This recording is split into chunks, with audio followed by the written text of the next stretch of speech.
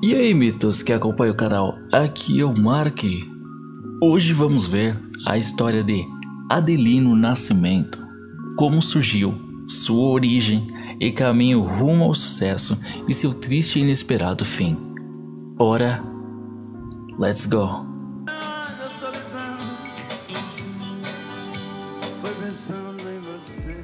Elno Celino Araújo do Nascimento foi um cantor e compositor brasileiro, do gênero brega. Ele nasceu em 17 de setembro de 1956, em Marassumé, na região de Gurupi, Maranhão. Além do nome artístico, ele também é conhecido como o cantor apaixonado do povão.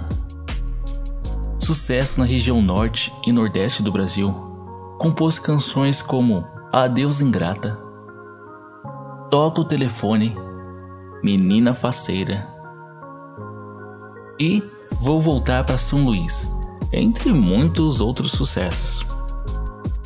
Iniciou a sua carreira em 1981, quando seu pai, que é agricultor em Turiaçu, vendeu um terreno para pagar a gravação de uma fita.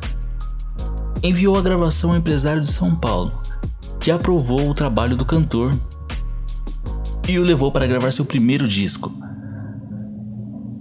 Assim, em 1984 gravou seu primeiro disco. Fez sucesso na Bahia, em Maranhão e Pernambuco, com as músicas Menina Faceira e também Caminhoneiro. A partir daí, sua trajetória na música crescia a grandes passos.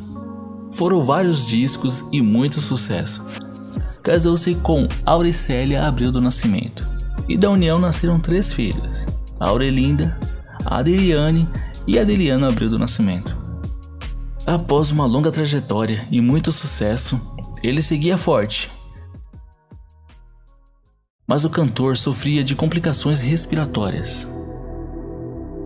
Após um show na cidade de Japaratuba, em Sergipe, Adelino sentiu-se mal, com problemas respiratórios, mas não quis receber atendimento médico. O cantor passou mal novamente dias seguintes, quando foi internado no hospital de urgência de Sergipe. Mas não resistiu e veio a falecer de complicações pulmonares.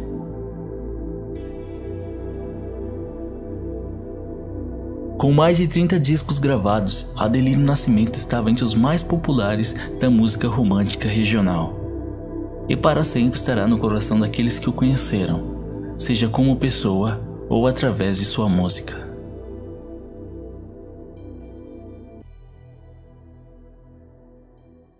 Então é isso aí, pessoal mito. Espero que tenha gostado da história e curiosidade de hoje e de ter esse conhecimento adquirido. Para mais vídeos, inscreva-se e deixe a sua curtida para o YouTube te recomendar os vídeos. Agradeço a companhia, a atenção e nos vemos na próxima. Adiós!